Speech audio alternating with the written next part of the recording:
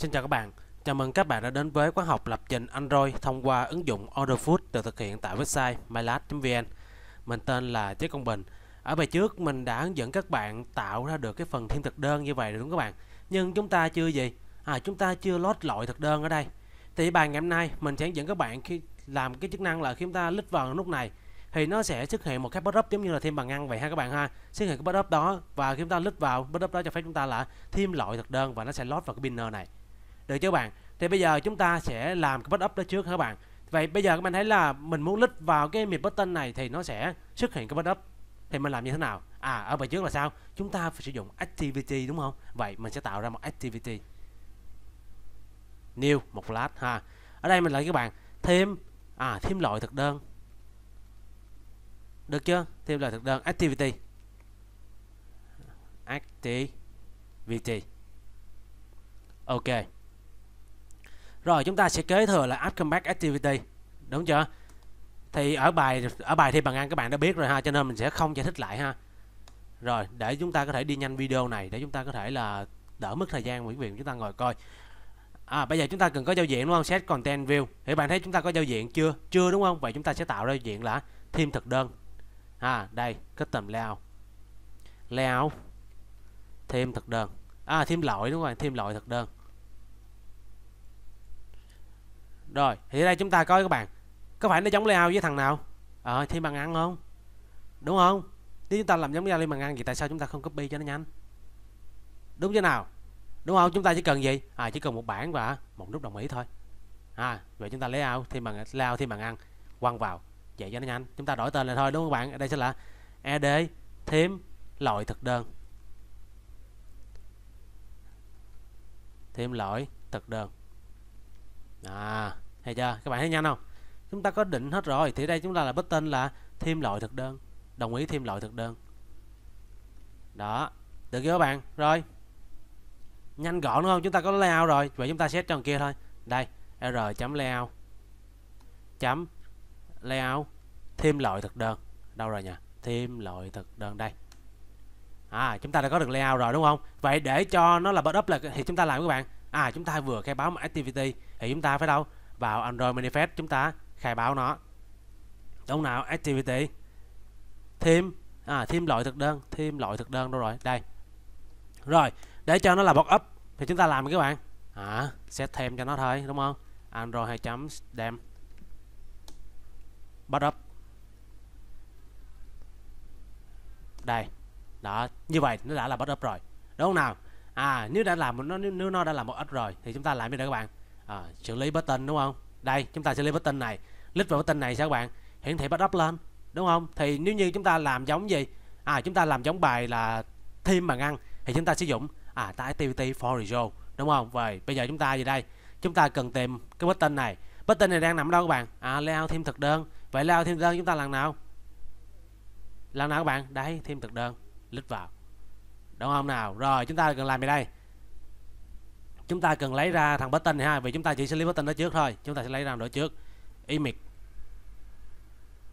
Image button đúng không? Theo mình nhớ là mình đặt image button. Image là thêm loại. Thực đơn. À rồi. Chúng ta cần đụng tới pinner đúng không? Spinner. Lấy luôn pinner luôn. Vì chúng ta cần thêm, xong chúng ta đổ vào pinner mà. Spinner. Pin. Loại thực đơn rồi giờ chúng ta tìm bên giao diện đúng không các bạn? Mấy edit test chúng ta quan tâm ha, bởi vì chúng ta đang làm loại thực đơn mà. Rồi, bên giao diện đây, image thêm bằng file. À đúng rồi, tìm bên giao diện. Chấm. Image. Image gì đây? Image. À chưa đặt tên. À chưa đặt tên rồi rồi. Nếu không hiện ra chỉ thể là chưa đặt tên thôi. Thêm thực đơn đây. Đúng rồi, vì chúng ta lúc bài trước là chúng ta thiết kế thôi, chứ chúng ta chưa đặt id đúng không? Id à image thêm. Ở à, đâu phải này đâu phải này đâu phải này. Thằng này là thằng này là image đúng không? Thằng này là image là à, lấy hình ảnh đúng không? Image hình ảnh hình thực đơn. À, đặt tên cho nó hết đi ha. Hình thực đơn thằng này sẽ là image thêm thực thêm loại nè. Android 2 chấm id à, image thì các bạn. Thêm loại thực đơn. Đó. Binner có chưa nè? Binner là bài trước chúng ta đặt rồi đúng không? Đặt tên cho cái này hết đi ha. Để chúng ta quên giống như ờ, như lúc nãy nữa. Ed tên món ăn. À, ed thêm đi à thêm tên món ăn. Tại vì có thể sau này chúng ta sẽ bị trùng á. Ed android hay chấm id ed thêm giá tiền. À rồi còn gì trong đây? Button đặt luôn đi ha đặt luôn. Btn đồng ý. Thêm món ăn rồi, ở dưới đây là btn thoát thêm món ăn đúng không? Copy lại. Đổi chữ đồng ý chữ thoát rồi, chúng ta đặt tên xong hết rồi đó. Rồi, tắt nó đi. Qua bên đây, giải quyết nó. Đây, image gì đây các bạn? Image thêm loại thực đơn. À. cách kiểu về sau đó tới binner. Các bạn lưu ý là binner chúng ta cần xử lý ha. Chúng ta vẫn xử lý binner nha bằng file tìm mình giao diện. R.id chấm spinner. Ok. Rồi, bây giờ là chúng ta muốn lít vào thằng thằng này, đúng không? Nó nhảy qua kia. Vậy chúng ta sao các bạn? À bắt sự kiện list implement đã nói tới list thì chúng ta phải bắt sự kiện list on on list đúng không? On list con view ha, các bạn lưu ý nha. Rồi. Các bạn thấy là chúng ta duyệt lên mình xong, chúng ta phải đăng ký sự kiện list liền để quên. Đây, chấm set on list listener did à vì sau này các bạn thấy là có nhiều thằng lết đúng không? Vậy chúng ta cần phải có id để chúng ta biết được là nào đang lết ha. Chấm get id của thằng view mà nó lết. Rồi làm cái whiskey id rồi chúng ta là vì chúng ta có thằng đầu tiên thôi là thằng gì đây? Kr.id.image à, thêm loại thực đơn. Nếu như thằng này được lết thì chúng ta gì các bạn? Tạo một cái intent đúng không? Vì chúng ta muốn gì đây? Chúng ta muốn mở backup thì chúng ta phải thông qua intent ha. Intent y à, thêm loại món ăn.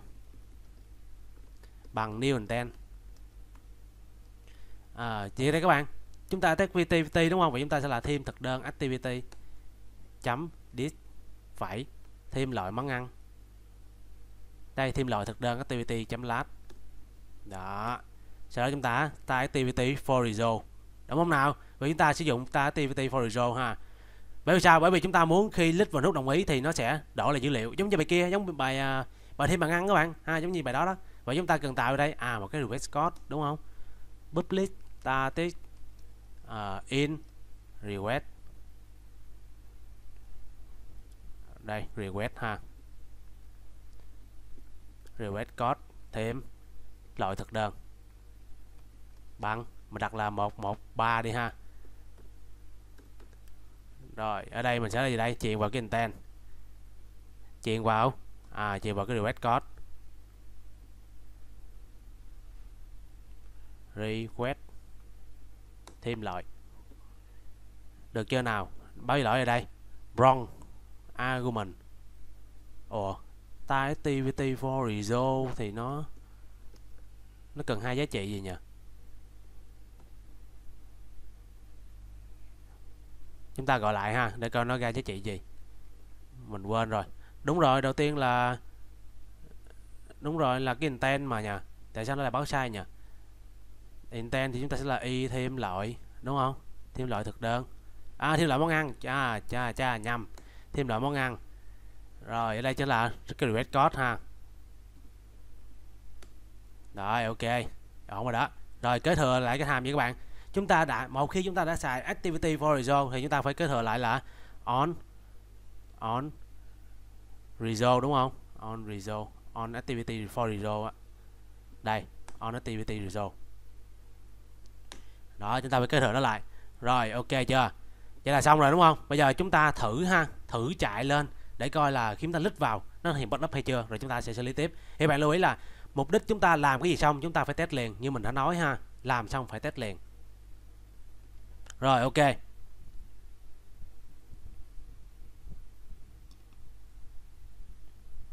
Rồi, đây là phạm Tuân, đúng không nào? M bao năm sáu?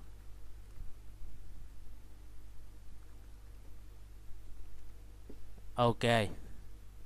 Qua thực đơn, đúng không? Lít qua thêm thực đơn. Lít thử vào thằng này. À ra rồi đây. Tên. À lúc này là tên bằng ăn vậy chúng ta đổi lại và chữ order food, chúng ta cũng đổi lại đúng không? Đổi lại là các bạn thêm loại à thêm loại thì chúng ta khai báo trong chuỗi đi ha.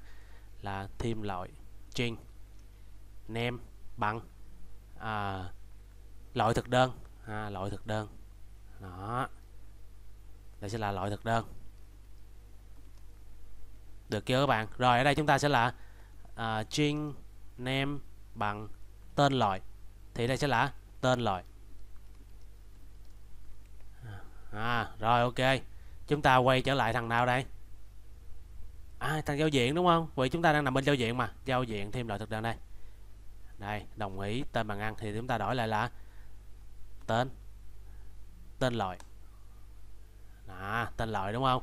Rồi, bây giờ mình thấy là lúc nãy chúng ta lướt vào bắt up app order food. Đúng không? Ở đây sẽ là loại thực đơn, đúng không? Vậy chúng ta đổi đâu các bạn? Lúc này thằng này nó là activity. Ha, nó không phải là phép mình nếu như nó là phép mình thì các bạn sẽ là gọi get activity rồi get, get action bar nhưng bạn thấy là là activity thì activity nó được quy định ở đâu? À, android manifest đây đúng không? Thì chúng ta trong căn cứ vào gì đây? Android 2 chấm title. Có không? Android title. À xong có title. Xong có title các bạn. À không phải title ha mà là label. Chính. À tên loại thì không đúng đúng không? Là loại thực đơn đó, rồi. Bây giờ chúng ta xử lý nút à, đồng ý đây. Bây giờ là mình muốn là khi đồng ý thì nó sẽ thêm thêm gì? Thêm loại thực đơn. Thì bạn thấy là loại thực đơn này nó thuộc về bản nào các bạn? Đúng rồi, bản loại thực đơn đúng không? Chúng ta có một cái bảng là bản loại thực đơn á, các bạn nhớ không? Đây, chúng ta mở lại database đây bản loại thực đơn đâu rồi? Gọi món. Đây loại món ăn. Xin lỗi các bạn bản loại món ăn. Đúng không? Bản loại món ăn chúng ta có mã loại và tên loại nè. Vậy các bạn thấy là mã loại chúng ta là tự động tăng rồi đúng không? Vậy chúng ta chỉ cần à, truyền qua tên loại thôi. Vậy bây giờ mình xử lý là khi click vào nút đồng ý này thì nó sẽ gì? Thêm tên loại vào trong bảng loại món ăn. Được chưa? Rồi bây giờ là các bạn thấy là loại món ăn là gì đây? Nó là một bảng đúng không? Vậy mình nên tách ra. À đúng rồi tạo ra một cái là đối tượng là loại món ăn DTO loại món ăn. DTO được không? Bao gồm hai trường là mã loại và tên loại. À, mã loại và tên loại. In mã loại. Chính tên loại. Rồi getter setter cho nó. À, alternate insert. À getter setter. Ok. Rồi đem lên đầu cho dễ nhìn. Đó xong. Đúng không? Rồi, nếu chúng ta đã tạo ra một thằng DTO thì chúng ta phải có một thằng DAO để kết nối tới cơ sở dữ liệu. Đúng không nào? Rồi, có đây. Loại món ăn. DAO ok. Được chưa? Rồi làm phương thức cải tạo. Phương thức cải tạo giống nào đây? À giống như thằng nhân viên bạn ăn vậy. Vậy copy đi. Đúng không? Mình copy này đi. Cho nó nhanh. Đâu rồi? Của mình đâu rồi? Đây là món ăn DAO copy nó. Sửa lại phương thức sửa lại cái tên phương thức khởi tạo thôi ha. Đây sẽ là loại món ăn. À, được chưa? Bây giờ chúng ta thêm món ăn đúng không? Vậy mình tạo ra một phương thức là long à, lên đi ha boolean là thêm thêm loại món ăn. Đó chúng ta nhận gì các bạn chúng ta chỉ nhận vào cái duy nhất là tên loại thôi đúng không? Tên loại. Chứ gì nữa? Tại vì làm mãi nó tự động tăng rồi chúng ta truyền một đối tượng thì nó mất công rườm rà đúng không? Chúng ta cần lấy tên loại chúng ta thêm vào thôi rồi, chúng ta tạo ra một cái content value. Cái này quá quen thuộc rồi, đúng không? Bài trước đã có rồi ha. Chúng ta chỉ giống như là chúng ta áp dụng lại thôi. Đó truyền dữ liệu vào content value. Chấm boot create database. Chấm gì các bạn? Table loại loại món ăn. Tên loại thôi. Vì mã loại chúng ta tự động tăng rồi nên chúng ta cần thêm tên loại thôi, đúng không nào? Truyền vào tên loại rồi, sau đó chúng ta gì đây các bạn. Database chấm insert. Các bạn chúng ta là gì đây? Table create database chấm table loại món ăn. Đúng không? Null column h chúng ta sẽ là null đúng chưa? Rồi, giá trị đây là content value. À và đây nó trả ra một biến long đúng không bạn? Vậy chúng ta xét là long kiểm tra bằng nếu đúng không? Chúng ta sẽ làm một cái nếu nếu như nếu như kiểm tra của chúng ta. Kiểm tra của chúng ta, sao các bạn? Nó khác không? Thì sao? Chúng ta return gì nè. Đó return true. Đó nghĩa là gì các bạn? Khác không có nghĩa là nó đã thêm được và nó phát sinh ID, đúng không? Vì nó trả cho chúng ta đi mà. Ngược lại thì return phone. Được chưa nào? Rồi bây giờ chúng ta qua bên đâu đây? À quay trở lại cái button xử lý. Button xử lý chúng ta nằm ở bên là thêm thực đơn. Ờ à, đâu phải nhỉ thêm loại thực đơn. Đúng rồi thêm loại thực đơn mà. Button đồng ý là thêm loại thực đơn. Rồi bây giờ chúng ta tìm button đồng ý chúng ta đây. Tạo ra button. Đâu các bạn? Bởi vì cái thằng cái nút đồng ý này nè nó nằm bên đâu? À bên bên thêm loại thực đơn activity mà ha. Btn đồng ý thêm là thực đơn. Đó, rồi, chúng ta tìm nó bên giao diện. Btn đồng ý thêm loại thực đơn bằng file view id. Rồi chấm id chấm btn thêm loại thực đơn. Đồng ý đúng không? Đồng ý thêm loại thực đơn. Rồi, ép kiểu. Bắt sự click implement on click listener. Rồi, lắng nghe sự click à, vừa bắt sự kiện list là phải lắng nghe liền. Btn ờ, đồng ý chấm xét on click listener. Thì các bạn thấy là cách trình bày code của mình nè.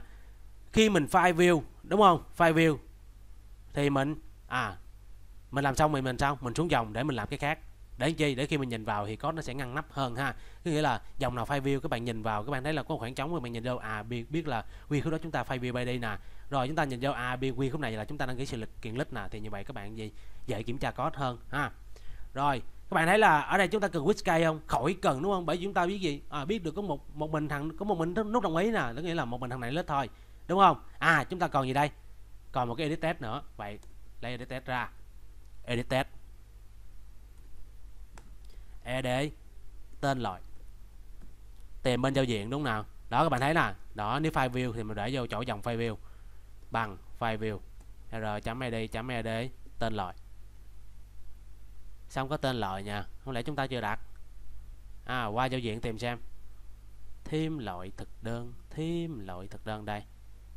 Thêm loại thực đơn à thêm loại chứ không phải là tên đội. À mình đặt mà mình còn không nhớ nữa các bạn. Ed thêm loại thực đơn. Đây. À rồi ok chưa? Rồi, đúng không? Có phải là khi lít vào, chúng ta lấy gì? Lấy cái test luôn này. Chuyên quá, chó thắng. Database chúng ta à, database chúng ta là nào đây? Bàn ăn loại món ăn. Ở này DTO mà đúng không? DO DO nè đây. Database chúng ta đây tên loại đúng không? Thêm loại món ăn thì nó sẽ truyền một tên loại. Rồi bây giờ chúng ta qua đây xử lý. Chúng ta có gì đây các bạn? Đúng rồi tạo ra loại món ăn DO ha. Loại món ăn DAO rồi chúng ta nêu nó đúng không? Các bạn thấy nè. Loại món ăn DO là gì? Một dòng mới rồi đúng không? Vậy là mình nêu nó đâu đây? Mình nêu nó trên đầu đi. Trên đầu của con kia đây là món ăn đều bằng new là món ăn đều chuyển vào contest là đít. Đúng chưa nào? Rồi, chúng ta sẽ gọi. String tên. String nè, tên thực đơn. S, tên loại thực đơn.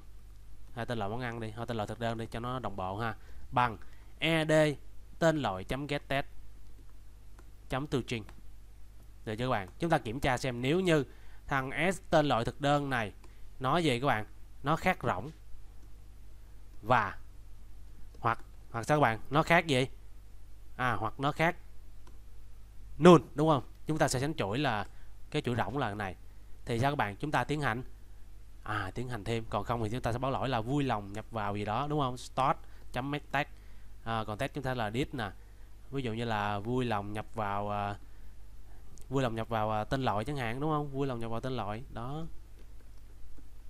Còn hay là vui lòng nhập dữ liệu đi ha vui lòng nhập dữ liệu à, để cho nó chung chung với các bạn để chúng ta đem qua cái chuỗi mà string chúng ta để cho sau này chúng ta xài lại đó các bạn. Ha.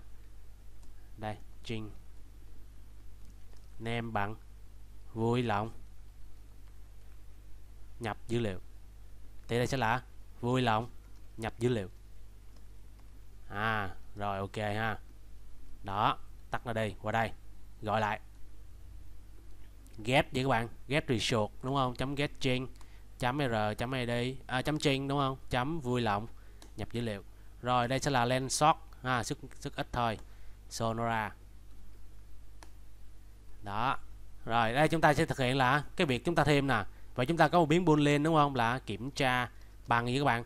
Bằng à loại món ăn do ha à, quá quen thuộc rồi. Chấm thêm thêm loại món ăn truyền vào. S tên loại. Kiểm tra xem nếu à nếu như thằng kiểm tra này là true thì chúng ta xuất thông báo là thêm thành công. Ngược lại phone xuất thông báo là thêm thất bại. Được chưa các bạn? Copy. À đem lên đem lên. Đổi lại thôi. Thêm thành công.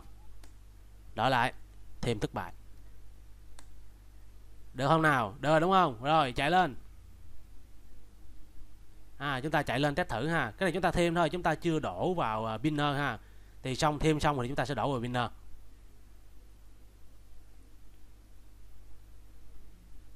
rồi, ok.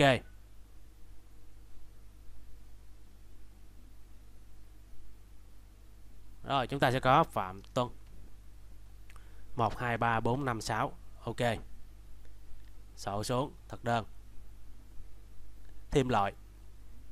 Đầu tiên là món xào đi ha, xào. Ok. Đúng không nào? Rồi, chúng ta sẽ có là hấp. Ok. Thêm được đúng không? Tới lượt món chiên ok rồi tới lượt gì các bạn. À, món gỏi nè đúng không? Ok tới món lẩu nè đó thêm nhiều nhiều một tí đi ok vậy bạn thấy là gì? Đều thêm thành công hết đúng không? Nhưng nó chưa lót robin ha đúng chưa nào? Thì các bạn thấy là khi thêm thành công thì mình phải thoát ra đúng không? Mình chỉ là ở đây mình finish. À, thoát ra. Để gì đây? Để nó quay trở lại màn hình là thêm thực đơn và nó lót vào pinner đúng không? Vậy trước khi finish chúng ta làm các bạn? Đúng rồi chúng ta bút dữ liệu về chứ đúng không? Chúng ta không bút dữ liệu về làm sao mà chúng ta biết được là thêm thành công hay thêm thất bại? Và thêm thành công thất bại chúng ta có xét đây nữa không? Không đúng không? Mà chúng ta sẽ xét đâu? À, hiển thị uh, bên chỗ là thiên thực đơn chứ đúng nào? Này là hiển thị thực đơn phép mình đúng không? Không xài nữa bỏ đi. Cho đỡ rối nè. Thằng này là trang chủ không xài nữa bỏ đi nè. Rồi. Chỉ còn lại là những cái mà chúng ta làm việc ha hiển thị bàn không cần bỏ luôn. Đó đây là những cái chúng ta làm việc tới nè. Rồi có phải là khi chúng ta cần lít vào finish khi mà nó khi mà nó chỉ kiểm tra nè khi mà được uh, phải là nó trả lần kiểm tra này lại cho thằng gì? Thằng này đúng không? Rồi vậy chúng ta làm gì đây? À chúng ta tạo ra cái intent giống như cái thằng uh, bài uh, bài gì nhỉ? Thêm bằng ăn á giống như lúc nãy chúng ta thêm bằng ăn á. Y. Ví dụ như là dữ liệu. Bằng new cái intent đúng chưa các bạn. Rồi chúng ta làm nha các bạn. Set result. Đúng không? Result có cho bằng activity. Activity chấm result ok. Phải chuyển cái intent y dữ liệu vào. Vậy dữ liệu chúng ta các bạn à, chúng ta sẽ bút cái kiểm tra qua đúng không? Chúng ta cần bút này qua cho thằng gì? Cho thằng này nè đúng không các bạn? Để cho để chúng ta sức là thêm thành công thất bại bển nó chúng ta sức ở đây ha. Thì ở đây là chúng qua là lúc nãy mình làm mẫu thôi ha. Y y dữ liệu chấm bút extra. À, đây là kiểm tra loại ha kiểm tra loại thực đơn. Để cho nó tránh uh, tránh nhầm lẫn ha. Ý y dữ liệu ồ, nhầm nhầm. Kiểm tra đúng không? Đây là chữ kiểm tra với y dữ liệu. À, rồi ok ha. Rồi này chúng ta đem đâu các bạn? Đem qua bên kia đúng không? Đem qua đây kiểm tra nè. À, lúc này chúng ta kiểm tra đâu? On activity for result đúng không? Đầu tiên chúng ta kiểm tra xem nếu như thằng request code của chúng ta à, nếu như request code nè cái request code thực hiện lần nào? À request thêm loại thực đơn đúng không? Và result code là tình trạng trả rồi ok ha. Nếu như request code của chúng ta request code, đúng không? Request code, bằng bằng gì các bạn? Request code, thêm loại thực đơn.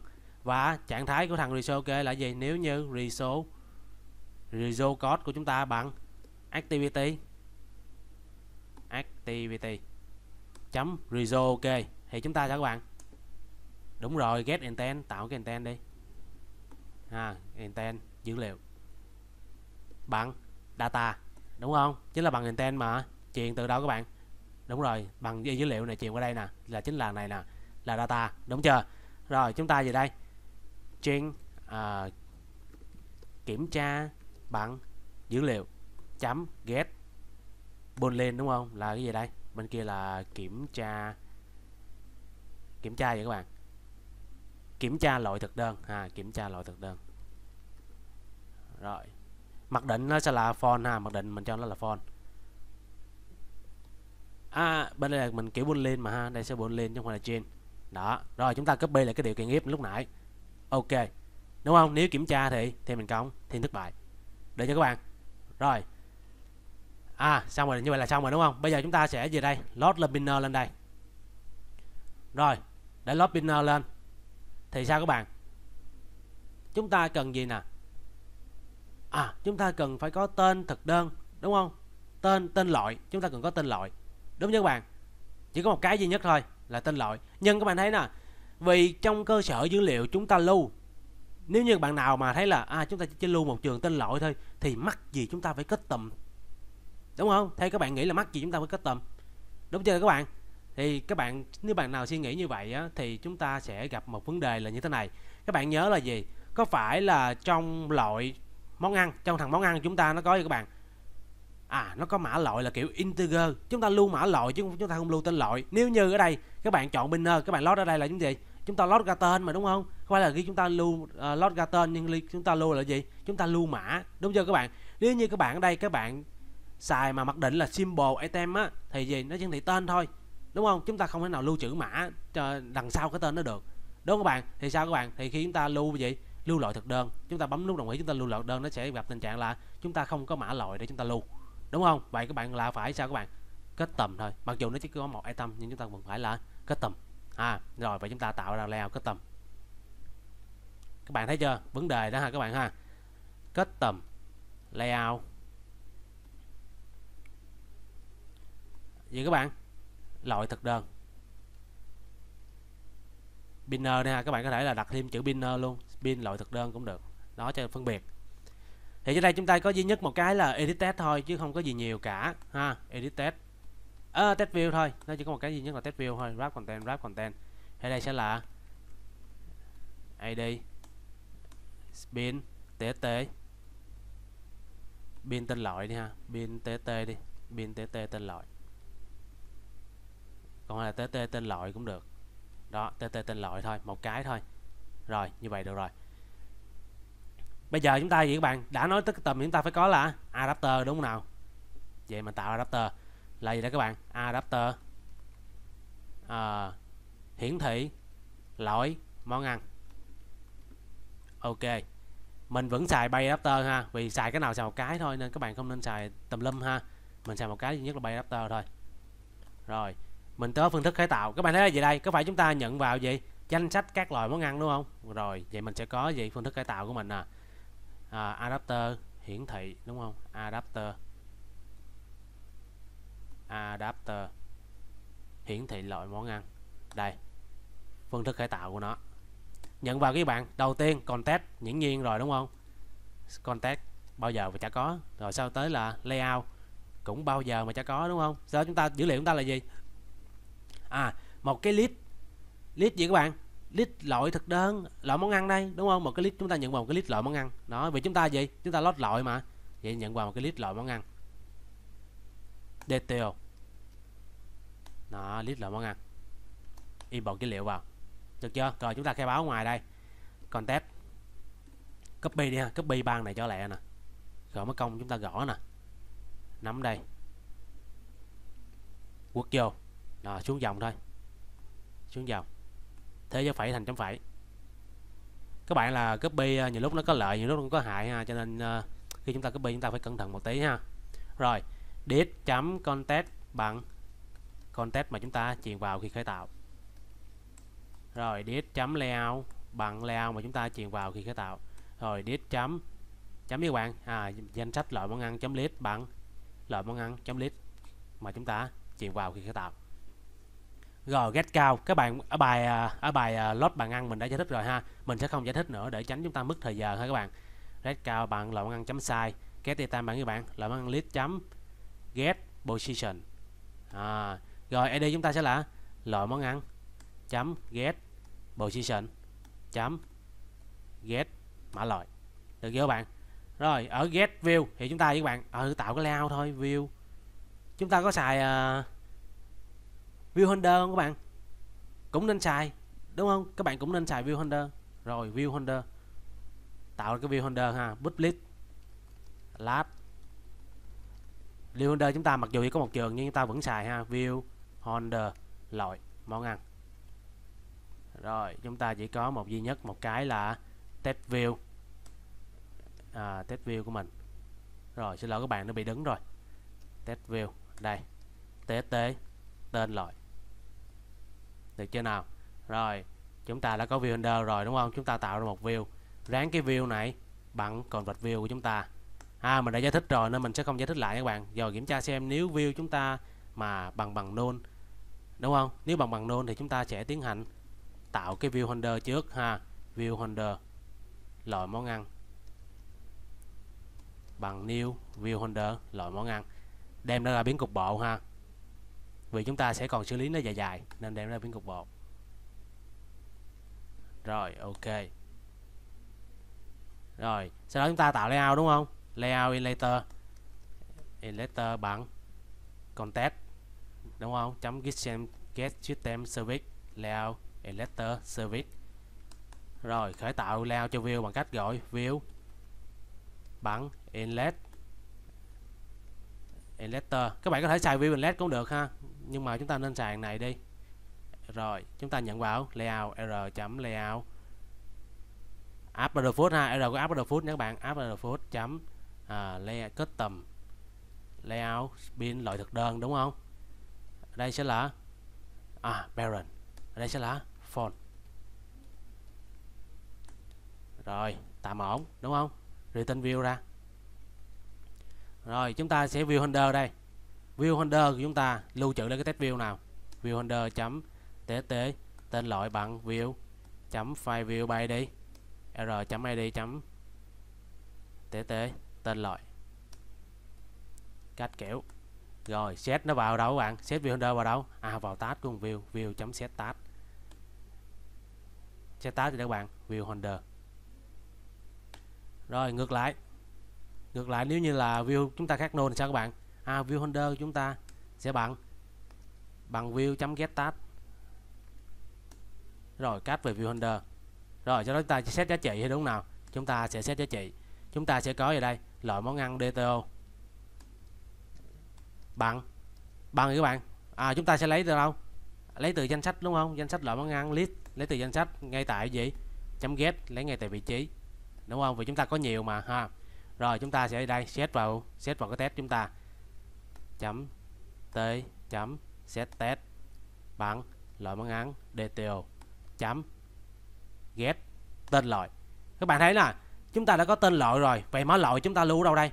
Thì có phải là chúng ta lưu vào thằng tên loại luôn được không? Được đúng không? Vì sau này chúng ta gọi nó, chúng ta get tag thôi. Ha, vậy mình view holder chấm tt tên loại luôn, chấm set tag set tag được chưa các bạn? Mình sẽ lưu ở đây. Mình sẽ lưu mã loại vào đây luôn à chấm get mã loại. Đó. Rồi ok. Như vậy là các bạn thấy là chúng ta đã xong adapter rồi ha. Các bạn thấy không? Khi chúng ta quen thuộc với adapter nó chả gì ghê gớm hết. Nhưng các bạn lưu ý thằng binner á các bạn là khi bạn lít xuống á, thì nó sổ xuống đúng không? Vậy nếu khi mà các bạn làm get view như vậy nè ha. Các bạn làm get view như vậy thì nó mới hiển thị ra cái lớp da ngoài đây thôi. Các bạn khi bạn bấm sổ xuống á, thì nó sẽ không có gì hết vậy để khi bạn phóng sổ xuống nó vẫn có dữ liệu thì các bạn phải kế thừa thêm một hàm nữa của nó. Theo mình nhớ như là on drop down. Nó có chữ drop down. Đâu nhỉ? On. Get drop down hả ta? Đây get drop down view. À thì thằng get drop down view này nó sẽ làm tương tự như get view luôn nó không khác nha các bạn. Hai nó giống nhau y chang á. Nhưng các bạn không có này á, thì các bạn lít vào á. Các bạn thấy không? Get drop down drop down nghĩa là gì? Các bạn ghi lít vào thì nó sổ xuống á thì get drop down ha, nó trả dữ liệu y chang không khác gì hết thì bạn chỉ cần copy dưới đem lên chân trên thôi là được rồi. Rồi bây giờ chúng ta đã có adapter rồi ha. Chúng ta đổi dữ liệu vào đây. Vậy bạn thấy là là thằng spinner chúng ta đang nằm đâu các bạn? Thêm thực đơn đúng không? Vậy chúng ta quay lại thêm thực đơn. Đây thêm đơn chúng ta đã có đã có rồi. Spinner chúng ta khai báo chưa? Có rồi. Đúng không? Chúng ta đã gì? Lấy uh, lấy danh sách các loại món ăn chưa? Coi trong cái database nào. Chưa đúng không? Vậy chúng ta làm một câu truy vấn trả ra là à danh sách các loại món ăn. À public void void phải không? List ha các bạn ha public list thực ra các bạn có thể xài là cơ so adapter. Ha nhưng mà nếu xài cơ so adapter thì uh, nó hơi rắc rối một tí. Thì có một số bạn sẽ không hiểu cho nên mình sẽ chọn một cách đơn giản nhất để chúng ta làm. Là loại món ăn DTO DTO import class vô. Import list vô. À, rồi, chúng ta sẽ đây là danh sách loại món ăn. Lấy danh sách ha. Lấy danh sách loại món ăn. Rồi, chúng ta tạo ra một cái list loại món ăn DTO bằng new nó. Đúng không các bạn? Ê new array list ha. New array list đây, loại món ăn DTO được chưa nào? Rồi, chúng ta giờ để các bạn làm câu truy vấn đúng không? Chuyện làm câu truy vấn nào? Chuyện query. Hay là gọi là truy vấn á trên truy vấn bằng. Câu truy vấn rất là dễ. Select sao from. From vậy các bạn. Chúng ta đang lấy đâu nào? À loại món ăn. Trời, quá dễ câu truy vấn này. Đúng không nào, table? Loại món ăn.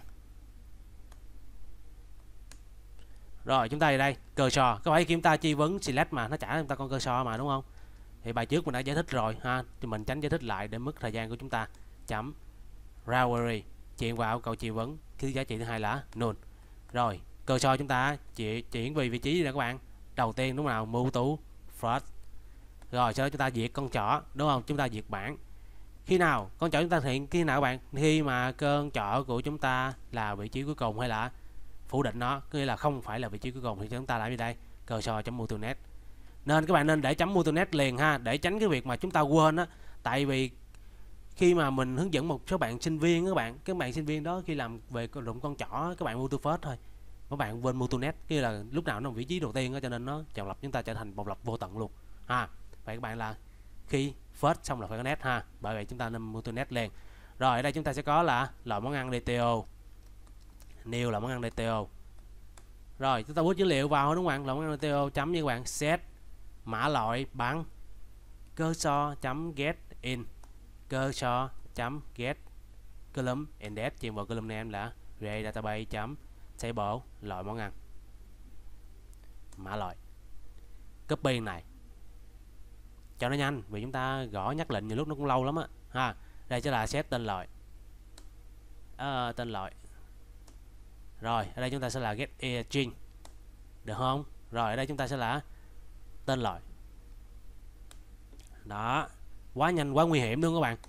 Rồi chúng ta add vào add vào cái list thôi đúng không? Gọi, loại món ăn dtos chấm add. Loại món ăn dto nên xuống dòng ha cái này nên xuống dòng nè. Đó, cái nào chúng ta nên xuống dòng, ta cứ xuống dòng. Đừng có tiếc khoảng trống ha các bạn. Rồi, return ra. Return cái list chúng ta nè. Loại món ăn dtos ok chưa? Rồi, chúng ta đã xong bây giờ chúng ta quay trở lại. Đợi bây giờ chúng ta đổi dữ liệu binder đây.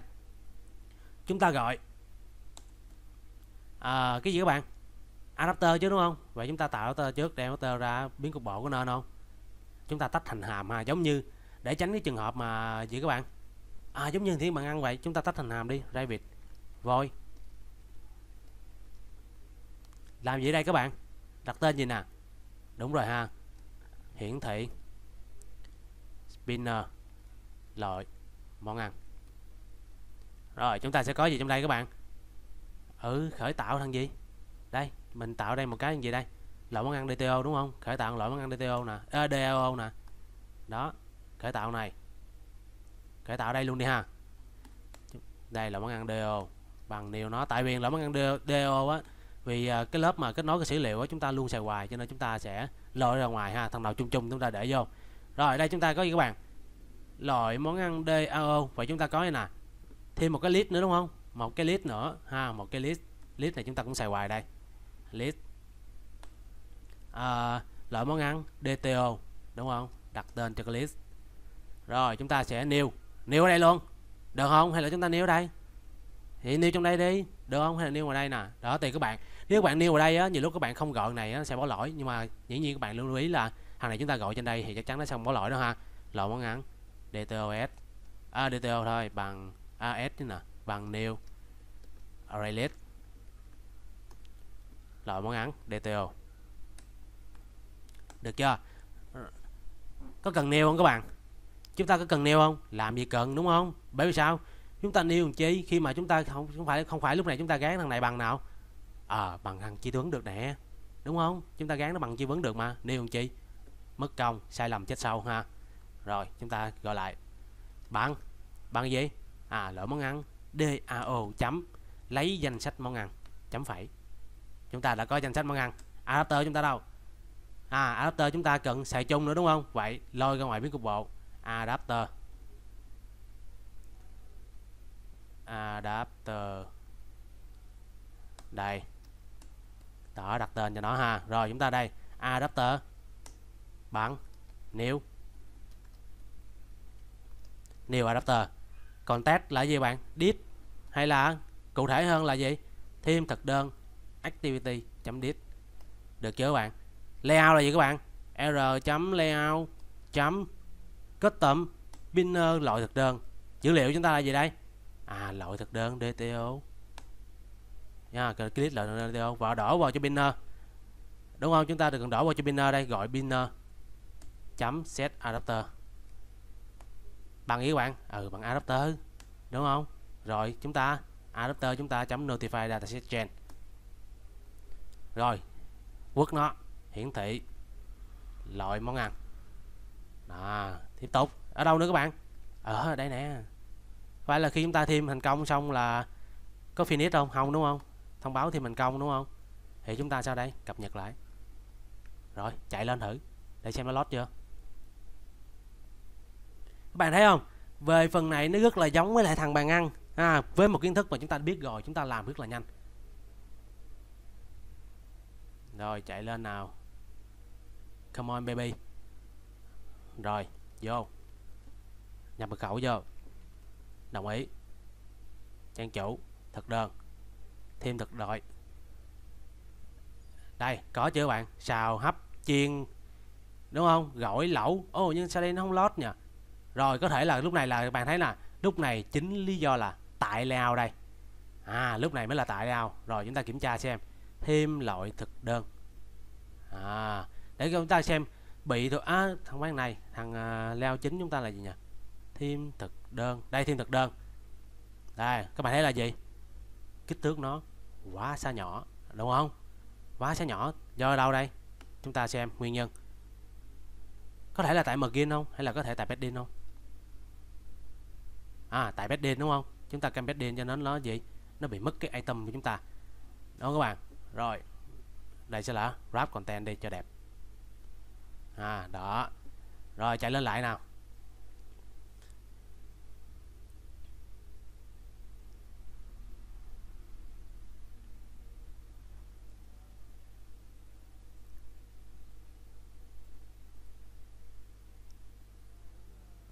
Rồi, chúng ta bắt đầu fix ha các bạn. Thì bạn thấy là chúng ta sẽ thử xem. Đây là linear layout đúng không nào? Chúng ta thử xét cứng chiều cao cho em 150 dB. À, chúng ta sẽ xứng chiều cao rồi sao các bạn? Nó vẫn không ra đúng không? Mà nó bị gì? Button này đè. Bởi vì sao nè? Bởi vì các bạn thấy là gì gì đây? À với tính chất của linear layout đúng không? Vì thằng linear layout này bị ảnh hưởng bởi thằng cha nó lần nào đây các bạn? Lần này đúng không? Mà này bị ảnh hưởng bởi thằng cha nó là thằng này. Cho nên khi chúng ta xét cứng ở đây thì sao? À dù các bạn xét 150 dB thì sao? Nó vẫn bị ảnh hưởng bởi cái đức của thằng cha đúng không? Vậy chúng ta phải gì xét kích thước của thằng cha. Được chưa? Thì thằng cha của thằng cha đầu tiên của lần nào các bạn bao trùm cả hai linear lao này có phải lần này không? Thử chúng ta xét cứng 150 dB xong ra đúng không? Xong ra các bạn nhỉ đây đây. À, đây đúng không? Không ra đúng không? Đây có ràng ta lên ba năm trăm dB ra ra tại 120 là ở dưới thôi đúng không? 300 nó ra nè nhưng mà thấy là, như vậy bất tiện quá, chúng ta sẽ thử leo web xem. Chúng ta cho nó là một. Đó, vậy cho nó đều, cho nó đẹp ha. Rồi chúng ta tạm thể để lao web là một. Rồi chúng ta sẽ xếp margin cho này. Chúng ta xếp margin cho nó layout margin. Đó, rồi chúng ta xếp bedding cho nó layout bedding rồi chúng ta thử chạy lên nữa các bạn thì bạn thấy là nếu như các bạn không muốn xài như vậy, thì các bạn có thể là cho thằng này ra giữa một tí, đúng không? Cho nguyên đám này ra giữa. Và các bạn có thể đỡ lại thành reality layout và cho nó ra giữa, ha. Thì có thể là nhìn nó sẽ đỡ hơn. Đó. Tại vì giao diện của đó bên chúng ta ít quá mà. Rồi. 1 2 3 4 5 6 vô. Được các bạn, đây. À đồng ý. Thoát. Được chưa các bạn được rồi đúng không? Đây xào đồng ý thoát. Thì các bạn có thể là đây các bạn có thể set cứng để cho nó nhích lên. À, các bạn set cứng nó là bao nhiêu dB đó thì sau khi qua đa màn hình chúng ta set lại cũng được đâu thành vấn đề gì đâu đúng không? Bỏ layout quét này đi. À, thì chúng ta set cứng ví dụ đây là ờ, uh, 300 dB. Đó và 250 là đẹp rồi. À, ha 250 đó được chưa? 200 cũng được nữa nè. À, nhưng mà 200 bạn thấy là gì? Nó bị mất chữ đúng không? 250 là ok nhất. Rồi chúng ta xem lại. Chúng ta gì đây? Chúng ta có 250 đúng không? Chúng ta coi sai chúng ta có 250 chưa? Chưa đúng không? Vậy chúng ta khai báo. À rất là có nhiều cách chúng ta làm. Demand. Size.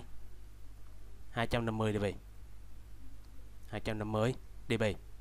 Rồi gán lại cho kia. Đâu rồi các bạn? À, thiên thực đơn. 250 đây, đúng không? Đây, demand. 250 rồi, như vậy là ok. À thì như vậy ngày hôm nay mình đã hướng dẫn cho các bạn với các bạn. À cách thêm thêm loại thực đơn và với các bạn à load loại thực đơn vào trong binner à load về binner thì binner các bạn có thể gì đây? Set cho nó màu trắng, chữ màu màu ray cũng được, đúng không? Đúng không nào? Rồi, làm luôn đi, đúng không? Nói là làm luôn đi cho nó khỏe nè để mất công có nhiều, nhiều lúc có một số bạn cũng không biết nữa ha. Rồi chúng ta chỉ cần cái gì đây? Android background. Color. Cho nó màu trắng. Rồi nó ra màu trắng đúng không bạn? Rồi cho chữ màu ray. Android text color có không đây? Android là color. À text color chúng ta đâu các bạn?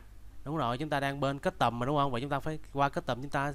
À đúng rồi qua kết tầm chúng ta set color của đoàn test. Hoặc là chúng ta qua kết tầm chúng ta set background cũng được. Ha rồi, mình qua kết tầm set đoạn test. Đây. Đoạn test chúng ta sẽ là màu ray. Test color, màu ray. Rồi, trả lại ha. Để xem ưng ý chưa.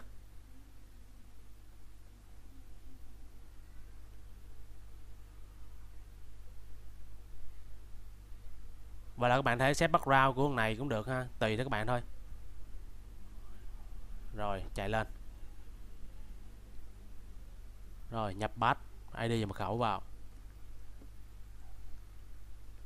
Đồng ý. Thực đơn. Đây món xào.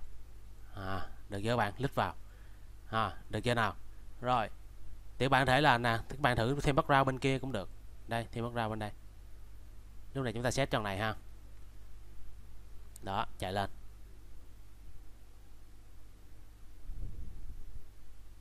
Các bạn cũng có thể kết tâm cái hình của uh, cái nút pinner cũng được nữa ha. Thì các bạn có thể lên mạng tham khảo nha. Nếu mình chỉ nữa thì uh, chúng ta sẽ tốn rất là nhiều thời gian ha các bạn. Thì cái nào chúng ta nên uh, lên mạng tham khảo được chúng ta cứ tham khảo nha các bạn. Đây. Không? Nhưng mà các bạn thấy lúc này thì gì? Background nó không đẹp bằng kia. Đúng không? Nè thằng này nó vẫn còn màu trắng nè. Đó. Đúng không nào? Chúng ta set bên kia thì nó sao? Nó đều hơn. Đúng không? Rồi. Nhưng mình không thích background ha cho nên mình sẽ xóa đi rồi, thì như vậy ngày hôm nay mình đã hướng dẫn cho các bạn xong cái phần spinner và thêm thêm loại thực đơn. Xin chào và lại các bạn.